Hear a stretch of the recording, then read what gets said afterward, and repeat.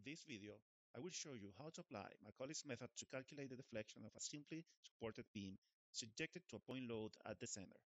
For this case, our beam will be 8 meters long with a rectangular transversal section of 200 by 600 millimeters and a load of 80 kilonewtons.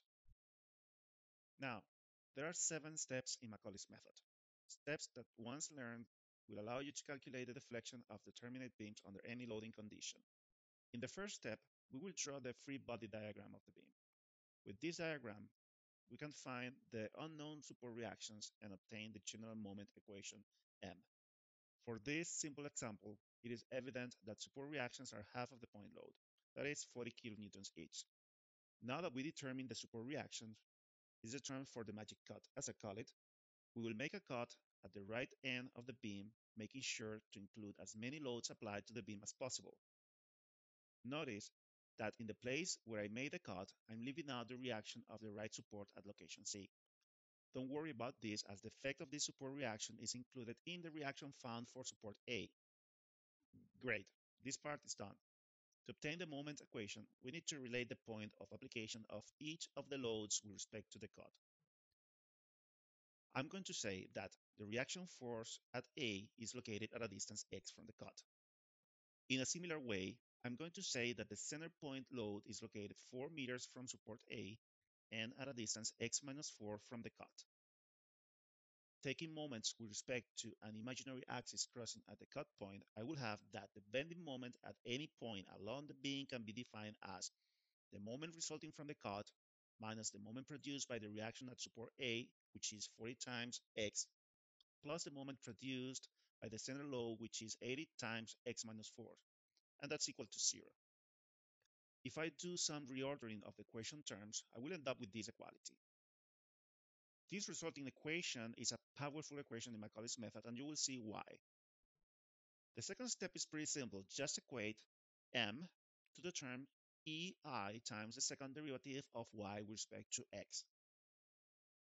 The latter is a term well known called the general deflection equation, which is derived using Euler's-Bernoulli's theory. We will call this result equation 1.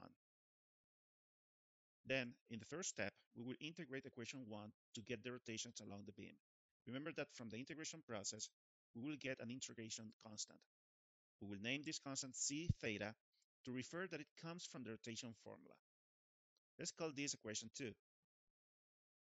Notice here the integration rules followed by the Macaulay brackets. Fourth, integrate the equation 2 to obtain deflections along the beam. In this step, we will also get another integration constant that will be named C sigma. This resulting equation will be equation 3. Step number 5. Find all displacements and rotations. You can find these from constraints or specific conditions resulting from the type of supports used. In our simple supported beam, the boundary conditions are as follows. Support A, located at x equals 0, have a zero deflection or y equals 0. Support C, located at x equals 8, also has a zero deflection. Using the first boundary condition, we find that C sigma equals 0. And doing the same with the second boundary condition, we find that C theta equals minus 320. Let's not forget that both constants are expressed in kilonewtons. Then in step 6 is the time to introduce the values of the rotation and deflection constants to get equation 4 after substituting C theta and equation 5 after substituting C sigma. Finally, in step number 7, use equations 4 and 5 to find the displacements and rotations at any position along the beam. And there you go.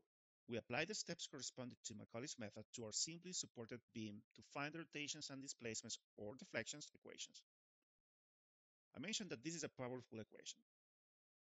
The reason behind this is that we obtain one single equation that can be used to calculate the displacements or deflections along the beam. Now, what are the typical questions you can answer having these equations?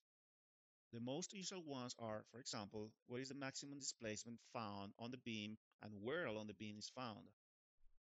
To answer this question, we need to leverage the simplicity of this example. We know that the maximum deflection will be at the center of the beam, or expressed in x coordinate, maximum deflection or displacement will be at x equal 4 meters. Using equation 5 and x equal 4, we get that the maximum deflection will be minus 7.9 millimeters. It is negative because it is downwards as expected. Now, is minus 7.9 millimeters good or bad? That Macaulay cannot answer. It is good or bad depending on the nature of the application, and you have to take that into consideration all the time. Also, it is important to know what are the maximum rotations found at support locations. Let's take as an example the support located at point A.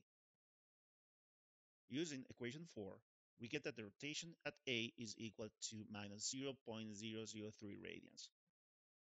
And negative sign, in this case, indicates a clockwise rotation. I want to calculate the rotation at support C, but rest assured that the procedure is the same as the one applied for the support at A. If you give it a shot, you must get a rotation of plus 0.003 radians, which happens to be of the same absolute magnitude as the rotation at A, which is evident thanks to the symmetry conditions of the beam. And that's it. As I mentioned at the beginning, these very same steps are followed for any beam loading condition. If you made it so far and liked the content, don't forget to subscribe. Thanks.